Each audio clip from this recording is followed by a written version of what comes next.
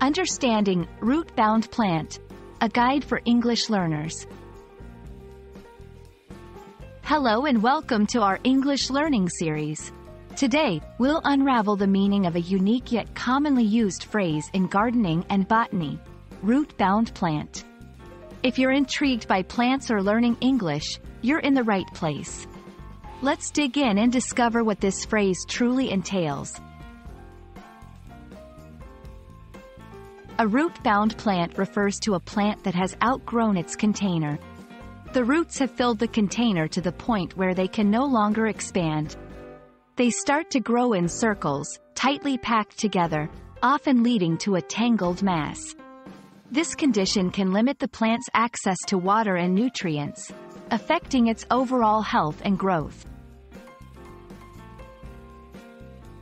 How do you know if a plant is root-bound? Here are some signs. The plant stops growing or grows very slowly. Roots are visibly growing out of the drainage holes at the bottom of the container. When removing the plant from the pot, you see more roots than soil. The plant needs watering more frequently as the packed roots cannot hold much water. Understanding these signs is crucial, especially for plant enthusiasts or those working in gardening. So, what should you do if you have a root-bound plant? Here are some steps. 1. Repotting. Choose a larger pot and carefully transfer the plant, ensuring not to damage the roots.